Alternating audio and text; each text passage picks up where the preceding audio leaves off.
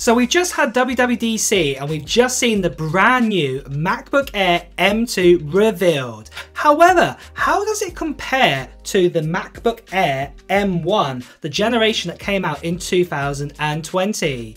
Well, today I'm going to do for you a MacBook Air M2 versus the MacBook Air M1 in specs comparison. Well, let's get started.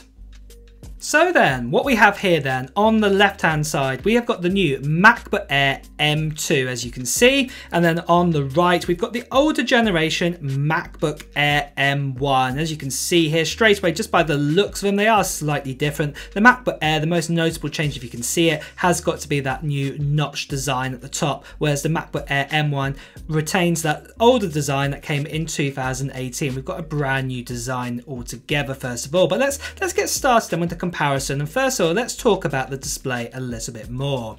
So the actual displays that we've got here, both of them are very, very similar technology indeed. Both of them have got a retina display and then LED IPS technology. So there's no difference here in the actual technology in the actual displays and how they work. There's no mini LED like we get inside the 14 and the 16 inch MacBook Pro and also the iPad Pro M1. That technology is not come available in the new MacBook Air M2.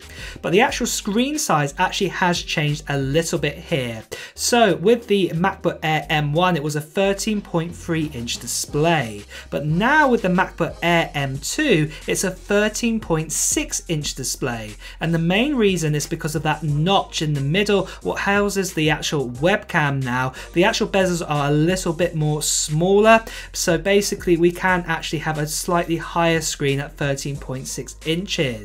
But to be deadly honest, as you can see here on the screen resolution, it's not a lot. Just look at the comparison here for both of them. There's not much between them. So with the MacBook Air M1, we get a resolution of 2560 by 1600, whereas the MacBook Air M2 now has 2560, exactly the same, by 1664. So it's only 64 more pixels. So, you know, for that actual top row there. So you're only getting 64 more lines of pixels going across the top. Well, isn't that a lot really when you think about it? It's only a slight enhancement in screen size, but the actual width is exactly the same, but just the depth is the difference. But the pixels per inch are exactly the same. There's no changes here on the clearness of the picture you're going to get. It's 227 pixels per inch or 227 ppi for both of these MacBook Airs. There's no difference whatsoever. The display refresh rate as well, again, very similar compared to both of these MacBooks. They're both a 60 Hz refresh rate and they're not a ProMotion display either, just like we got on the 14 inch and the 16 inch MacBook Pro where they can go down to like 10 Hz and all the way up to 120 Hz. These are static at 60 Hz and cannot be adjusted. They will both maintain a 60 Hz refresh rate. Then moving on, we've got the brightness and the true tone. And there is a slight difference here. So both these displays have true tone, and this has been quite common for a lot of MacBooks over the years. But the MacBook Air actually with the M1 chipset has a 400 nits display, whereas actually the MacBook Air M2 has a 500 nits. So the brightness is a little bit more powerful on that MacBook Air M2. It's a very similar panel to the MacBook Pro M1 and also now the M2 MacBook Pro with um, that standard M1 and M2 chipset inside. It's very similar display to that now inside the new MacBook Air M2. Moving over to processor, and this is probably the biggest change of them all.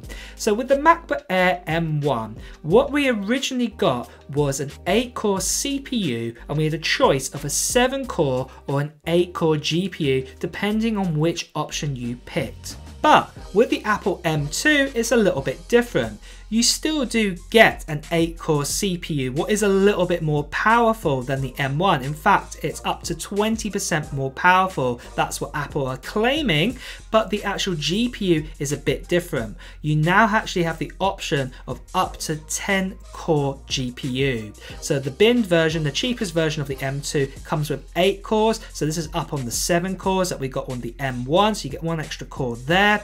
But you can actually pick up to 10 core GPU. And if you pick that 10 core GPU option, you will get about a 30% more graphical performance or 35% more graphical performance compared to the M1's GPU power. What is really, really incredible to see, but it's not a massive leap and bounds um, jump like what we had from Intel over to Apple M1. But moving on though, RAM has changed a little bit as well. So with the MacBook Air M1, we had the choice of either 8 or 16 gigabytes of RAM, but with the MacBook Air M2, you still get the choice of 8, 16 or 24 gigabytes of RAM now. So that extra option is a little bit more. So if you do need to utilize a little bit more RAM, you can pick this option. But then for storage, it's identical for both of these MacBooks. So the MacBook Air M1 and the M2 start with a 256 gigabyte configuration where you can go up to 512 gigabytes, then one terabyte, then two terabytes. You have those options to pick from. Then moving on for ports, they are very, very similar, except for the MacBook Air has an extra port now on the same left side as the MacBook Air M1. And what it has, it has that MagSafe charging capability, just like what we got on the 14 and 16 inch MacBook Pro. That return of MagSafe or MagSafe version 3 is now on the MacBook Air M2. Then for operating system, both of these MacBook Airs right now, fresh out of the box, um, run macOS Monterey, but we will be getting that new version of macOS Ventura coming out on both of these machines and both of them will be compatible to run that. And there'll be no major differences on basically on features. The identical features will work on both of the MacBook Airs.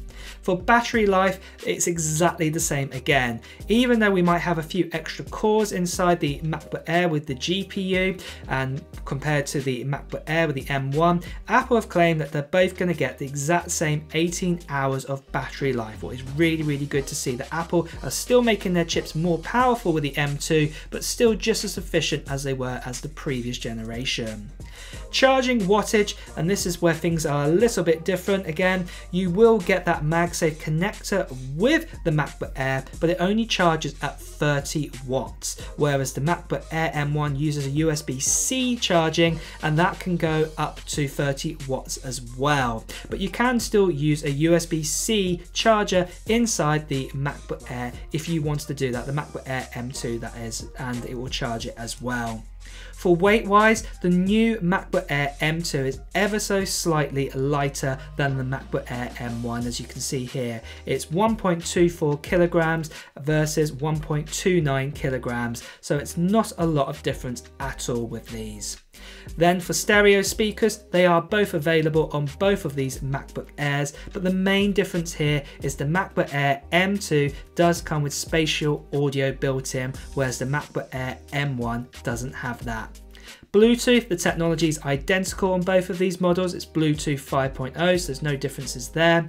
But the webcam has changed a little bit now. So now we actually have a 1080p webcam on the MacBook Air M2 compared to the 720p webcam that we got on the MacBook Air M1. So things have changed a little bit there. For price rise then, so for the starting price configuration, this is with 256 gigabytes of storage and 8 gigabytes of RAM. What you will get for this machine is that you will get a MacBook Air M1 for 999 US dollars and that will give you that 8 core CPU and 7 core GPU.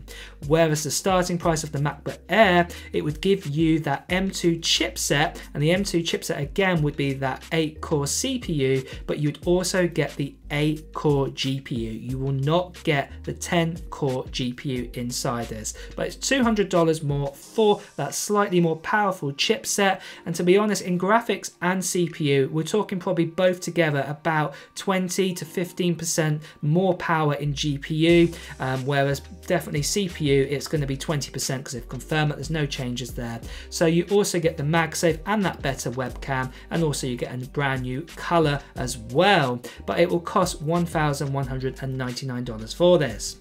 And talk about colors, as you can see here, we now have an extra color available on the MacBook Air M2 and I'm sure this is probably going to be the most popular color out there. It's now this midnight color as you've been seeing here in this comparison. It's more of a darker black color, but we still retain the original silver, space gray and gold colors as well, just like what we got on the MacBook Air M1. So, will you be buying yourself a new MacBook Air this year? And let me know what model it's going to be. Is it going to be the M2 model or is it going to be the M1 model?